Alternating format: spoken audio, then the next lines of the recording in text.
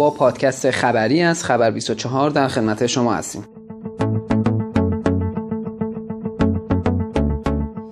جوایز میلیون دلاری اپل این بار برای کشف باگ در تمامی سیستم عاملها. طبق اعلام شرکت اپل تمامی محققان حوزه امنیت می توانند با شکار باگ های موجود در پلتفرم های این شرکت مشمول دریافت جوایزی تا یک میلیون دلار و یا فراتر از آن شوند. این طرح که از سال 2016 توسط اپل آغاز شد صرفا با پلتفرم iOS محدود می شد اما اکنون تمام پلتفرم های این شرکت را شامل می شود اپل در ماه آگوست و در جریان کنفرانس Black Hat اعلام کرد که از این پس همه افراد می توانند نسبت به کشف باگ در یکی از سیستم عامل های آیکلاد، آیپد OS، مک OS، تیوی OS و واچ OS جوایز مالی اختصاصی یافته برای این طرح را دریافت کنند. سونی یک patent جدید برای اکسپریا 2020 ثبت کرد. شرکت سونی با عرضه نسل جدید گوشی های سری اکسپریا در سال 2019 توانست تا حدودی خود را در بازار رقابت حفظ کند. این شرکت در سال جاری با عرضه گوشی هایی با نمایشگر 21.9